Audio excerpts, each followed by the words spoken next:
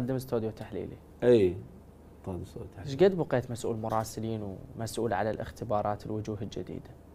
سنة سنتين ما أعتقد أكثر إيش قد ظلمت ناس طه؟ يجيك شاب بداية عمره ما استذكرت روحك بهذه الفترة؟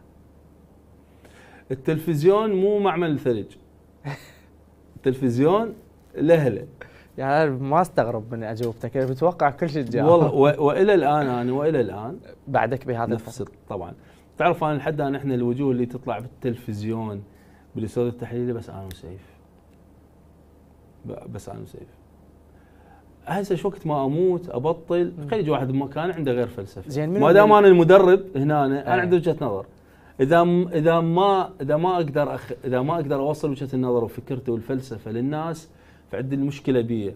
الطريقة اليوم إحنا نعاني من مشكلة. جيل الإعلام الجديد. تخيل أنا كنت قبل فترة في في مهرجان تقيم مؤسسة للتدريب الإعلامي.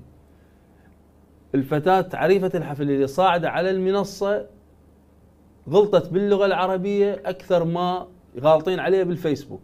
من وراء من وراء الرابعة والمنتخب. عفت الحفل وقمت. قلت لهم إذا هاي الجهة تقيم فأكو مشكلة عندكم أنتم. عفتهم وطلعت لحقوني قلت عمي عيب عيب هذا مو مو ضحكوا على نفسكم. شنو؟